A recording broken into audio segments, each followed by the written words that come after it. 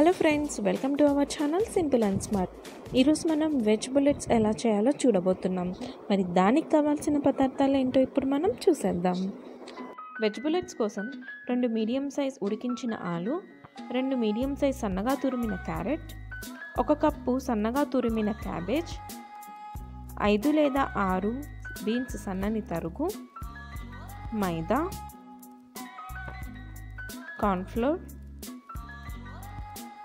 Bread crumbs కోసం నాలుగు లేదా ఐదు బ్రెడ్ స్లైసెస్ ధనియా పౌడర్ కారం ఉప్పు సన్నని కొత్తిమీర తరుగు కరివేపాకు తరుగు చాట్ మసాలా. ఇంగ్రీడియంట్స్ చూసారు కదండి? ఇప్పుడు మరి ఎలా ప్రిపేర్ చేయాలో చూద్దాము. ఒక మిక్సింగ్ బౌల్ తీసుకుని మనం ముందుగానే ఉడికించి పెట్టుకున్న ఆలు తురిమి పెట్టుకున్న క్యారెట్ క్యాబేజ్ పచ్చిమిర్చి కొత్తిమీర కరేపాకు బీన్స్. మీకు ఇంట్రెస్ట్ ఉంటే ఉడికించి పెట్టుకున్న పచ్చి బఠానీ అలాగే స్వీట్ కార్న్ కూడా యాడ్ చేసుకోవచ్చు. ఇప్పుడు రెండు స్పూన్ల కార్న్ఫ్లోర్ నాలుగు స్పూన్ల మైదా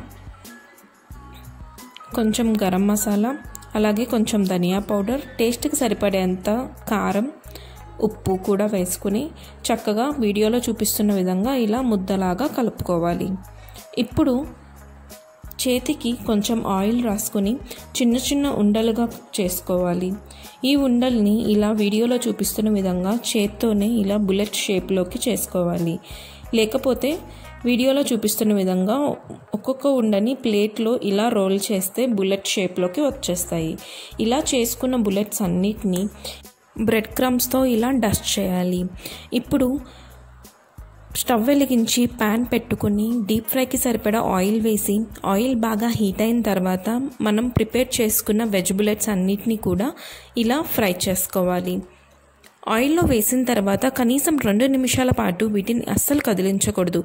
అలా కదిలిస్తే ఇవి విరిగిపోయి లోపల ఉన్న వెజిటేబుల్స్ అన్నీ కూడా ఆయిల్లోకి వచ్చేస్తాయి. ఇవి బాగా ఫ్రై అవ్వడానికి మనకి మినిమం ఫైవ్ మినిట్స్ టైం పడుతుంది అండ్ ఈ ప్రాసెస్ అంతా కూడా మనం మీడియం ఫ్లేమ్లోనే చేయాలి. ఈ వెజ్ బుల్లెట్స్ గోల్డెన్ బ్రౌన్ కలర్లోకి వచ్చేంత వరకు మనం ఫ్రై చేసుకోవాలి. రెండు నిమిషాలు ఫ్రై అయిన తర్వాత అన్ని వైపులా ఈవెన్గా కాలేలాగా మనం ఫ్రై చేసుకోవాలి. వీడియోలో చూపిస్తున్న విధంగా ఇలా గోల్డెన్ బ్రౌన్ కలర్లోకి వచ్చేసిన తర్వాత సర్వింగ్ ప్లేట్లోకి తీసుకుని టొమాటో సాస్తో తింటే చాలా చాలా బాగుంటాయండి. అండ్ ఈ ఐటెం మీరు తప్పకుండా మీ ఇంట్లో ట్రై చేయండి. పిల్లలకి పెద్దవాళ్ళకి అందరికీ డెఫినెట్గా నచ్చుతుంది. ఈ రెసిపీని మనం ఈవినింగ్ స్నాక్ లాగా చాలా తక్కువ టైంలో చేసేసుకోవచ్చు ఫ్రెండ్స్. అండ్ మీకు ఈ వీడియో నచ్చింది అనుకుంటున్నాను. మీకు నచ్చితే లైక్ చేయండి నచ్చకపోతే డిస్లైక్ చేయండి. అండ్ మీరు ఒకవేళ ఇంట్లో ట్రై చేస్తే ఎలా వచ్చిందో కమెంట్స్లో చెప్పండి. మీరు ఇంకా ఛానల్ని సబ్స్క్రైబ్ చేయకపోతే ఇప్పుడే సబ్స్క్రైబ్ చేయండి. నెక్స్ట్ వీడియోలో ఇంకొక సింపుల్ రెసిపీతో మళ్ళీ మీ ముందుకు వచ్చేస్తాను. Thank you.